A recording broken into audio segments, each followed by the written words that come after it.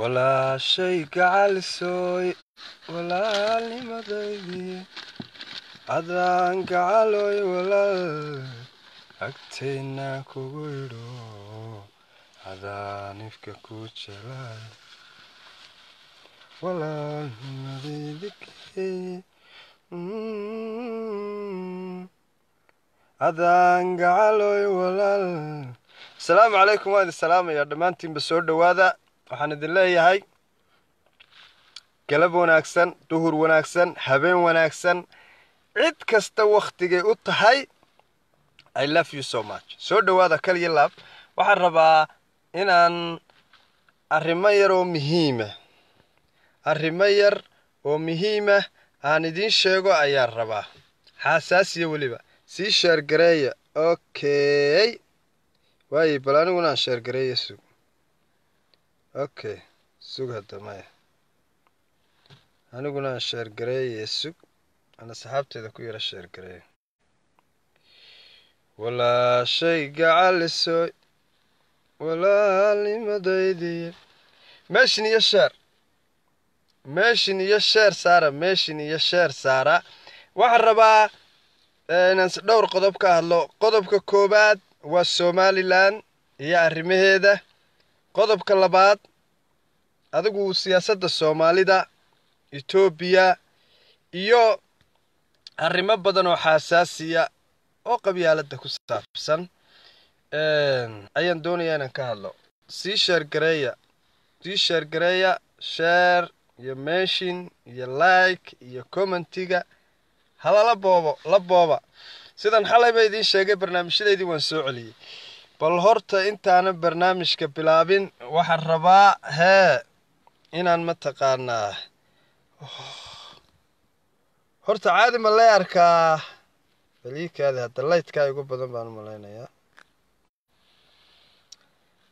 Caadi miyaa lee arkaa? Caadi. Caadi ma lee arkaa? Caadi ma lee arkaa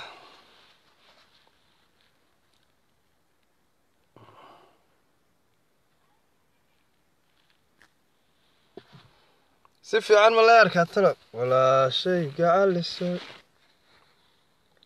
si fiican miyaa lee arkaa? Yaa ma lee arkaa?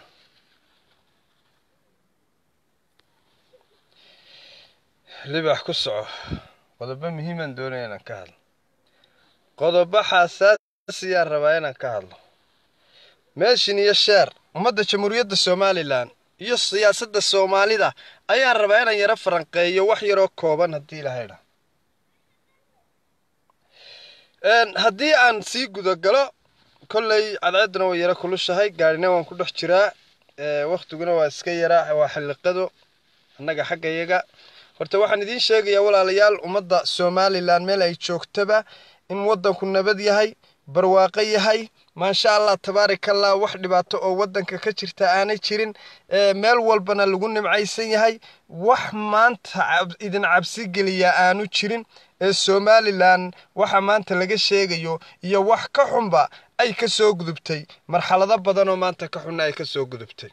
Somalilan looma baqayo somalilan amnigeeda jiritaankeeda xasiloonideeda walaalnimadeeda wadajirkeeda iyo wanaaggeedaba maanta looga biqi maayo. Qolooyin yaryar oo buuraha galay iyo cid kasta maanta somalilan cid looga baqayaa ma jirto. Waxba yaan carruurta iyo dumarka laga quuqun haweenka iyo carruurta weliba qurba joogta waxaan u sheegayaa waar naba waddankeenna somalilan maanta maalin uu ka wanaagsan yahaaba yaraatee ma jirto. Waxaan rabaa markaa walaalayaal oo aan doonayaa inaan idinla wadaago. Qodobka koowaad ummad ummad marka soomaali la idhaahdo ummad dhammaanteed wada doontay magac mansab dhaqaale adduun maxaan ku dhahay qurux sharaf karaamo ma loo wada heli karayaa? Ilaahay baan kaba wada dhiginba koonkan allaha qafuura raxiimkee abuuray ee maalikal mulkiga ah ayaan kaba wada dhiginba ummaddu inay noqoto saciid ummad wada magac iyo maamuus leh amba wada taajiriina amba wada wasiira amba wada madaxa. Ilaaha koonkan abuuray mulkiga aakhiriya adduunyaba iska leh.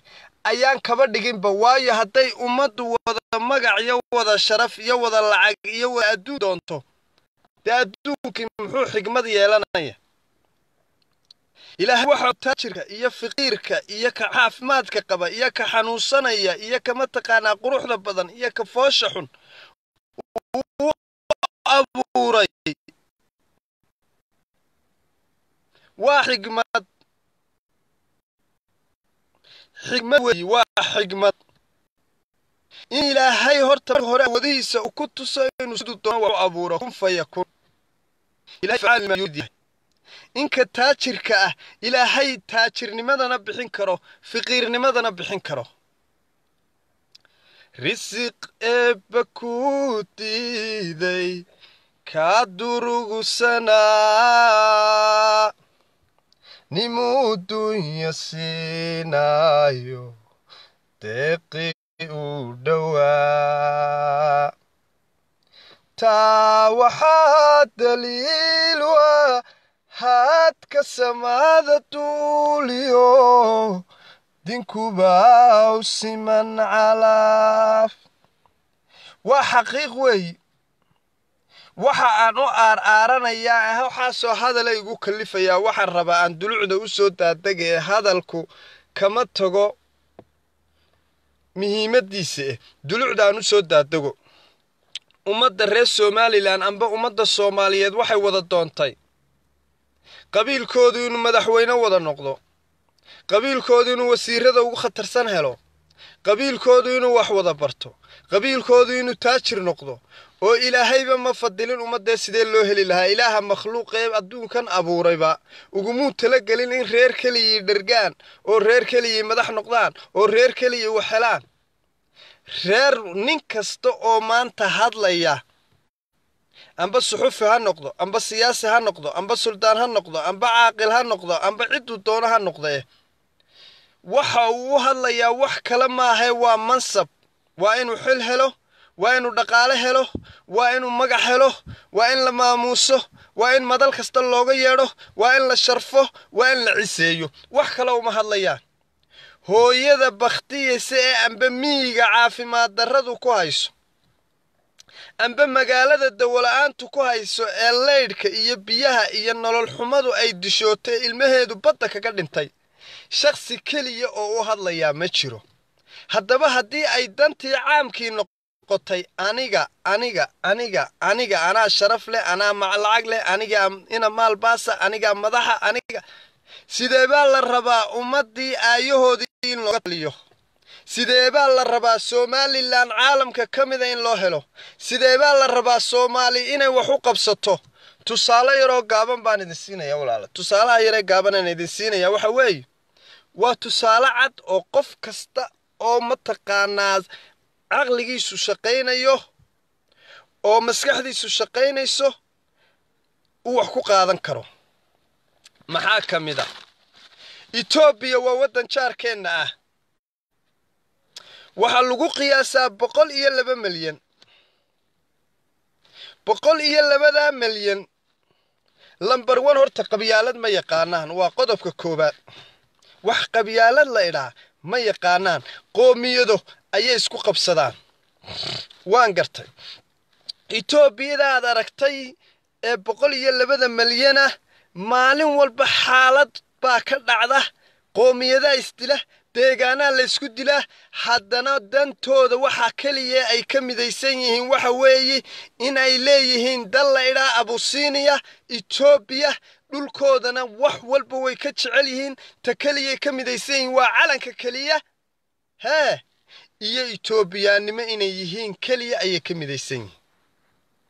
Iyada oo maalin walba ay isdilayaan ay qoomiyada isku dilayaan ay deegaana isku dilayaan ayay haddana horumarkoodu maanta geeska afrika iyo dhaqaalahoodu afrika oo dhan ay ku hogaaminayaan boqolkiiba sagaashan ay ku hogaaminayaan oo uu dhaqaalahoodu kor u kacaya oo cududda ciidankooda u mid yahay. Horta taasi waa horta wax tusaale inoogu filan. Waxay kala saareen maxaan ku dhahay qoomiyadnimadii iyo deegaankii iyo mataqaanaa wixii laysku hayay iyo dowladnimadii iyo calankii iyo difaacii dalkooda ayay kala saareen. Iyagoo oo wax isku haya ayay haddana waxa ay ka midaysan yihiin dowladnimadooda iyo difaaca dalkooda ayay ka midaysan yihiin. Taasi waa ta mid kaleo iyaduna mudan in la isweydiiyo. Etoobiya waa boqol iyo laba milyan. Boqol iyo labadaa milyan. Waxaan aad ula yaabay. Dowladda dhexe wasiiradoodu markii hore waxay hayeen siddeed iyo labaatan wasiir. Hadda waa boqol iyo laba milyan wasiiradoodu waxay haayeen siddeed iyo labaatan wasiir. Baarlamankoodu waa imisa? Waxaa lagu qiyaasaa toddobaatan meelaha. Ah guurtina maba lahaba waa ra'iisul wasaare iyo madaxweyne. Waxa keliya awoodda leh ee dalkaa dhan u taliyaa waa ra'iisul wasaare. Iyo goolaha baarlamaanka oo ah lagu qiyaasay ilaa konton toddobaatan meelaha lagu qiyaaso. Afartan inay baan u malaynayaa haddii aanay kaba badnaynba waaye kaba soo qaadba boqol iyo konton meelaha way u qalmaan waa boqol iyo laba milyan. Waayahay waxa ay sameeyeen miisaaniyadoodu waxa ay ku dhadhowdahay maxaa lagu qiyaasay horta? Miisaaniyadoodii imisaa lagu qiyaasay? Imise ahayd? Ma saddex boqol iyo labaatan bilyan meelahayn ahayd baan u malaynaya. Meelahaasay ahayd baan jeclahay marka teenna xitaa loo eego waxay noqonaysaa teenu ay ku noqonaysaa toban kun oo dollar oo keliya. Tusaalaha aan uga socdaan rabaa inaan idi fahansiiyo. Dalkaa dhan ee boqol iyo labada milyana wasiiradiisii waxay noqdeen siddeed iyo labaatan. Tusaale gaaban baan idin rabaa. Miisaaniyadda sannadkii boqolkiiba sagaashan boqolkiiba siddeetan waxa ay u qoondeeyeen wax soo saarka dalka iyo adeegga bulshada. Waa boqolkiiba siddeetan miisaaniyadda dalka. Maxaa u suurtogeliyey xukuumaddooduna way yar tahay. Wax soo saarkoodana waxa ay geliyeen cashuurta ay ummadda ka saarayaan boqolkiiba siddeetan. Wax soo saarka dalka iyo adeegii bulshada. Caafimaadkii waxbarashadii laydhkii biyihii noloshii aasaasiga ahayd. Iyo beerihii iyo wax haa boqol iyo shan iyo siddeetan milyan. Okay waa yahay ayay geliyeen. Waa taa maanta keentay maanta innaga oo ka khayraad badan oo badihii haysanna oo ilaahay xoolayna siiyey oo ka baabulation yar oo lagu qiyaasay dadkeenna saddex milyan. Waa taa keentay maanta inaynu caafimaadkooda iyaga oo inaga badan aynu kuyuuga ugu jiro askarteenna scholarship loogu diro ardaydeenna scholarship loogu diray maanta aynu isku haysanno wasaaraddii waxbarashada. Ardaydii etoobiya ay scholarship inoo soo dirtay ayaa maanta laysku haystaa innagu isku haysanna. Halkaynu inagu laynoogu iman lahaa scholarship marka la eego tayadeenna khayraadka ilaahayna siiye nimcada le waa yahay ka kaalaytaa haddaba aan ducda u soo daadego. Somalilan kaalay. Somalilan miisaaniyadeeda waxaa lagu qiyaasaa xilligii siiraayo iyo xukuumadihii horeba xilligii siiraya ka soo qaad. Miisaaniyadda waxa ay ku qiyaasayeen saddex boqol iyo siddeetan milyan oo dollar. Marka laynoo eego innaga babulationkeena iyo nimcada ilaahayna siiyey way naga badan tahay. Miisaaniyadeenna saddexdaa milyan iyo siddeetankaa saddexdaa milyan iyo siddeetankaa maxaan ku dhahayay dollar boqolkiiba siddeetan waxa lagu bixin jiray. Maxaan ku dhahayay dakhliga dowladda. Hadday wasiiro tahay hadday wasaarada tahay haddii ay tahay ciidan waa yahay ciidanku ha uguba yaraadaba eh. Xukuumaddii siiraanyo labiyo toddobaatan wasiir bay ahay. Labiyo toddobaatan wasiir. Labiyo siddeetan baarlamanka ah labiyo siddeetan guurtida ah. Maxaan ku dhahayay shan kun oo oday dhaqameed oo mushahar la siiyo wasaaradda arrimaha gudaha ku taxalluqa bal intaa markaynu qiimaynaynu miisaaniyaddii isku qiimayno wasaarad kastaa waxa ay leedahay miisaaniyad u gaara oo ay rabtay in ay waxay qabanaysa ay ku qabato oo aan ummadda waxba looga qaban jirin. Wasaarad kasta waxa ku baxayay markay ugu yar tahay hal milyan oo doolar amba saddex milyan oo doolar baa ku baxayeen. Aan ummadda waxba loogu baxayn. Maxay ku baxayeen wasaaradahaasi? Labiyo toddobaatan wasiir oo wasiir weliba doonay mashruuc been ah oo uu shidaal doonay oo uu kharash gaara doonay sidee baad rabtay in waddooyin lagugu dhiso? Sidee baad rabtay in caafimaad lagugu dhiso? Sidee baad rabtay in nolosha aasaasiga ah iyo cashuurta aad bixisay ay dib kugu soo noqoto? Ma isweydiisay intaad leedahay wasiir lama magacaabin. Intaad leedahay reerkayga kama muuqdo. Intaad leedahay aad halkan u ma isweydiisay miisaaniyadaada qaranka iyo cashuurta shacabkaaga laga qaadaa meesha ay marta miyaad isweydiisay ma xisaabisay. Miisaaniyadaada shacabka laga qaadaa ma soo dhaafto gobol walba goolo deegaan buu samaystay iyo maayir. Iyadoo ay tahay oona gobolka maayirkiisa iyo goolaha deegaankiisa aanay soo dhaafin ayaa caasimadii hargeysana la sameeyey dowlad hoose oo ka madax bannaan xukuumaddii baarlamankii iyo guurtidii. Dowladdii hoose waxaa la sameeyey maayir iyo maayir ku-xigeen madaxweyne noqday. Waxaa la sameeyey shan iyo labaatan goolo deegaan oo xildhibaan kasta uu u baahan yahay dakhli u gaar waxaa la sameeyey xukuumad. Wasiiradoodu yihiin intaasoo wasiir oo wasaarad weliba ay rabto miisaaniyad gaara iyo mashaariic beena iyo shidaal beena. Waxaa la sameeyey guurti baa la sameeyey odayaal meesha iska fadhiya oo wax alla waxa inoo soo kordhinaya aana jirin. Sidee baad rabtaa inaad cashuurtaadii ku hesho? Ma soo dhaaftaaba horta intaas oo mataqaanaa wasiiro intaas oo guurti intaasoo baarlamaan intaasoo goolo deegaan ma isweydiisay oo nin waliba wato gaadhi v i d ya gaadhi v gaadhigii ugu dambeeyey gurigii ugu dambeeyey. Bal caqligaaga isweydii tolla ayaa ree hebelebaad kadin walba la taagantahay wasiirkay lama magacaabin kan kale la magacaabin. Dee wasiirkiisa haddaan loo magacaabin dhulna heli maayo beerna heli maayo xoolaha dowladdana dhici maayo etoobiya oo boqol iyo laba milyan ah. Waay uu u noqday wasiiradooda goolaha wasiiradoodu siddeed iyo labaatan? Somalilan oo saddex milyan iyo shan boqoliin ah. Wasiiradoodii ay u noqdeen labiyo toddobaatan wasiir maxay kala qabanayeen waxba may kala qabanayne reer bay ku yimaadeen. Wasiir waribana mashruuc buu samaystay. Uu reerkooda inta yar ee muhiimkaa uu ku dhuro. Xoolaha dadweynaha iyo cashuurtaadaa loo heshiiyey. Lagamana yaabo waa habeenkii xalahayo tegay caafimaad iyo waxbarasho inaad hesho. Labiyo toddobaatan wasiir xisaabi. Oo wasiir weliba intuu qaato maaha boqol laba jibaarkeed qaadanayo. Intaa markaan ka imaado soomaaliya soomaaliya waanu soo noqon doonaa teedu iyadu waa walaa cadadnaa walaa xasabnaat ta soomaaliya iyadu waa dhakafaarka dhakafaarkeeda iyo tan horta soomaaliya halkaa dhig waanu soo noqon doonaa. Muhiimaddu waxay tahay war haddii aad shacab u danaynayso haddii aad rabto adeeg bulsho inaad hesho haddii aad rabto inaynu nolol helno haddaad rabto hooyada midha tamaandhada imanaysaa inay leydh bilaasha hesho caafimaad hesho waxbarasho hesho ilmaheedu aanu ka taariibin ma haddaad doonayso ardayga jaamacadda dhigtaa inuu waxbarasho bilaasho helo? Waa in aynu ku xisaabtannaa war dakhligaynu bixinno iyo iyo dadka inoo shaqaynayaa ma isleeg tahay? Haddii dakhligaad bixisaba shaqaalaha dowladda iyo guurtida iyo baarlamanka iyo wasiirada iyo goolaha deegaanka iyo oday dhaqameed iyo maxayga aabbaheed ay ka badato maxaa adiga ku soo gaadhaya? Inta tollaa yaa ree hebelaa iyo caaraa halkan mara iyo kanta hayso. Intaad kaa hayso waxa aan ogahay nin kasta oo wasiiriye shidaalkiisu wuxuu gaadhi jiray xukuumaddii hore tan inay kantarooli allahu aclam wasiirada haddaan la yarayn waxaanoo goolo deegaan haddaan la yarayn xildhibaan gobol kasta haddii shan xildhibaan laga soo xulo.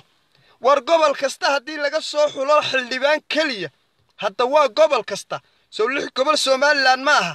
Gobol kasta haddii lix xildhibaan laga soo xulo oo lixdaa xildhibaan ay ku hadlaan aragtida shacabka oo ay noqdaan qaar shacabka u adeegaya oo inta kale mushaharkooda lagu bixiyo waxbarashada iyo adeega bulshada nolosha aasaasiga ah.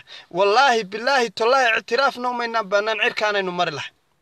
Gobol kastaa markuu doono labaatan xildhibaan oo labaatankii xildhibaanna ay noqdaan haamaaniin oy ummadda dhacaan oy ree hebel ku dhacaan. Sidee baad rabtaa inaad waxbarashiyo caafimaad iyo nolol ku hesho? Dulucda waxaan u soo daadegayaa walaalayaal. Maanta marka ay noqdeen goolayaasheennii iyo madaxdeennii iyo xukuumaddeenii in mataqaanaa dad yaroo saddex milyana intaasoo wasiiray xukumaan intaasoo wasaaradood intaasoo lagama yaabo ictiraafna aan haysan dakhligay soo baxayay lagama yaabo inaynu waxbarasho iyo leydh iyo caafimaad ka helno. Sheekadii qabiilkuna meesha uu taagan yahay. Waar maraykanka oo afar boqol oo milyana xildhibaanadiisa miyaa taqaanaa? Waa boqol xildhibaan oo keliya. Hal madaxweyneana xukuma wasiirana lamaba yaqaanba? Wasiirana waana afar boqol oo milyan weeye waxa mushahar ay ku bixin lahaayeen waa inay shacabkii dib ugu celiyaan. Haddaba cashuurta aad doonayso in waddooyin lagugu dhiso cashuurta aad doonayso inaad caafimaad ku hesho cashuurta aad doonayso inaad waxbarashiyo nolol ku hesho waxa qaata shaqaalaha intaa leeg ee saddexdaa milyan iyo shantaa boqol u shaqeeya ee wax alla waxay soo kordhinayaan aanay jirin. Horta taa lambar one maskaxdaada geli kuna xisaabtan. Marka taa soo xisaabiseed ogaatana waa inaad wixii xaqiiqa aad ka sheegtaa taasi waa taa. Soomaaliya kaale. Maraykanka waynu aragnay xildhibaanadiisu inay boqol keliya yihiin. Waa boqol xildhibaan ayaa guriga white houseka ka taliya. Waa maraykanka dhan ee quwadda leh dhaqaalaha leh ee afarta boqol ee milyana wasiiradiisuna waxaaba laga yaabaa inay shan iyo toban wasiir yihiin. Madaxweyne iyo madaxweyne ku-xigeen keliyay leeyihiin. Weliba madaxweynaha shaqeeya. Waan gartay. Iyadoo ay taasi taa tahay. Iyo wasiirka wasiirka arrimaha dibadduunbaa shaqeeya badanaa wasiirka arrimaha dibadda wasiirka gaashaandhigu waa madaxweynaha maraykanka. Horta culayska ugu weyni meeshuu inaga haystaa waa kaa etoobiya boqol iyo laba milyan inaynu ka wasiira badannahay inagoo saddex milyan iyo shan boqolana xisaabta ku darsada. Labiyo soddon wasiir baynu leena etoobiyana labaatan wasiir bay leedahay. Baarlamankoodu ilaa boqol meelaha ma dhaafo innaguna waxaynu leenahay guurtiiyo baarlaman marka laysku diro boqol iyo lixdan way dhaafsiisanta oday dhaqameedyadaa ka daran. Halkeebaa shacabkii wax loo marinaya marka. Haddii aan xukuumad iyo oday dhaqameed iyo baarlaman iyo guurti iyo gowla deegaanba waxba soo dhaafayn. Halkeebaa wax laynoo marinayo markaa waxba cashuur maxamuud haybe iyo waddo googo-ana ka hadlina aynu ku dadaalno sidaynu qabyaaladana in iskaga dayn lahayn. Dadkan inoo soo shaqo tegay ee naga taajira inayn iskaga kala yarayn lahayn. Dad taya leh oo qiimo leh oo muwaadiniinah oo cashuurteenna inugu soo celiya oo ummaddeenna wax u tarana aynu u soo dooran lahayn aynu aqoon ugu soo dooran lahayn qabyaaladna aynu uga bixi lahayn. Taa inaynu ku dadaalna ayaa loo baahan yahay. Aan taa ka gudbo. Soomaaliya kaale soomaaliya teedu waa wareerkeedayba. Federaal baan qaatay bay tiri. Toban milyanna ma gaadhaan waxa koonfurta soomaaliya ku noole. Federaal baan qaatay baanay tiri etoobiya oo boqol iyo laba milyan oo federaal oo kala af oo kala diin oo kala qoomiyadiina wasiiradeedii labaatan bay noqdeen. Ciidan keliya bay leedahay. Ra'iisul wasaare keliyaa ka xukuma. Baarlamankeedu waa boqol. Boqolkiiba sagaashan dakhliga miisaaniyadda cashuurta shacabka laga qaado wax soo saar bay geliyaan iyo adeega bulshada. Soomaaliya kaale soomaaliya teedu waaba dhakafaariya ama kaag farmaajo wuxuu xamar ku hayaa laba boqol iyo lix iyo toddobaatan xildhibaan. Laba boqol iyo lix iyo toddobaatan xildhibaan ayuu ku hayaa aqalka baarlamaanka laguu sheegayo ee soomaaliya. Aqalka sarena waa laba boqol iyo intaa xildhibaan weey oo aqalka sare ah isku geyn waxay noqonayaan shan boqol oo xildhibaan iyo guddoomiye iyo guddoomiye ku-xigeenkii waa waalicas. Waa waxaan adduunka lagu arag waa shan boqol oo xildhibaan. Waa xamar oo keliya. Waa fila soomaaliya inta xukuntaan kuu sheegaya. Maamul goboleedada ha ku dari maamul goboleedada haddaad timaadana nin kasta oo madaxweynihii wuxuu samaystay labiyo labiyo maxaan ku dhahayay soddon wasiir. konton toddobaatan xildhibaan odayaal dhaqameedyo. Waa maamul goboleedada adigu isku geyn waxay noqonayaan xildhibaanada soomaaliya maamul goboleed ilaa xamar marka la isku geeyo. Ilaa mataqaanaa toddoba boqol oo maamul goboleedada ah iyo toddoba boqol oo xamar fadhiya waa imisa. Waxa weeye waa milyan iyo saddex boqol xildhibaan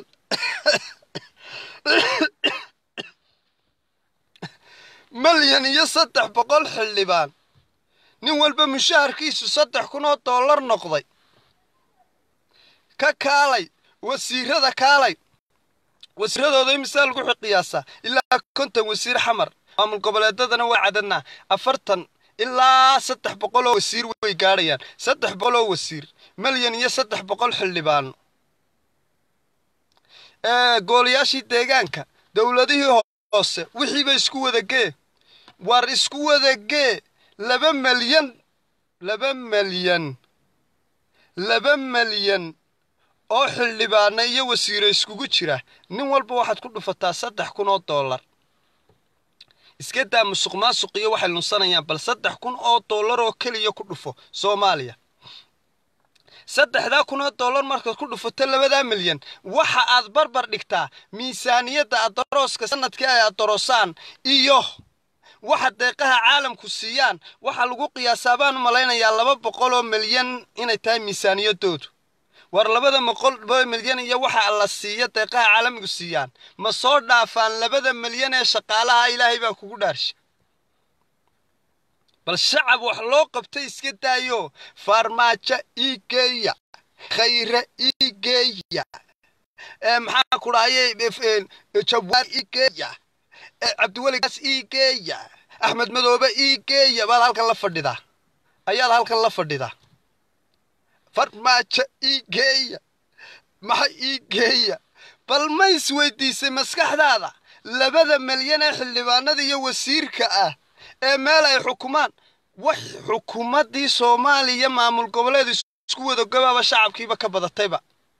Nus bay noqotay xukuumaddii soomaaliya.